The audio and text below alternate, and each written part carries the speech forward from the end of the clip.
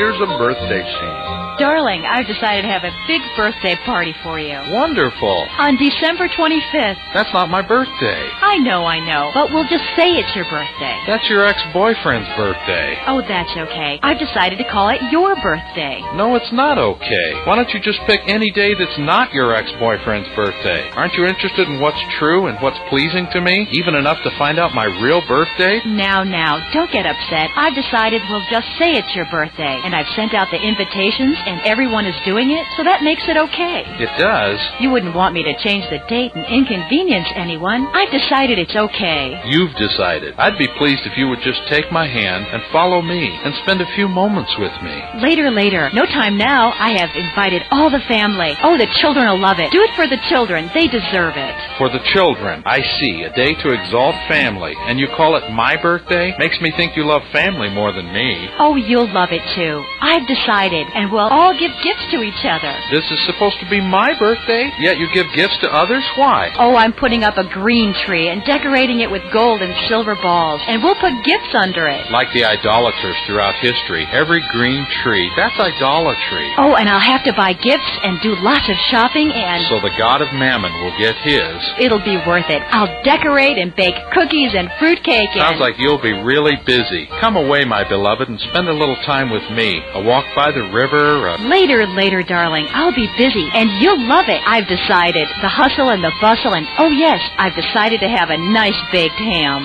charred swine's flesh on what you say is my birthday and is not. Who's in charge here? Why do you just do your thing and assume that I'll put my stamp of approval on it? If you love me, why do you not do the things that I say? You don't even know me. I suppose the next thing you'll do is dress your ex-boyfriend in a red suit and have him drop down the chimney.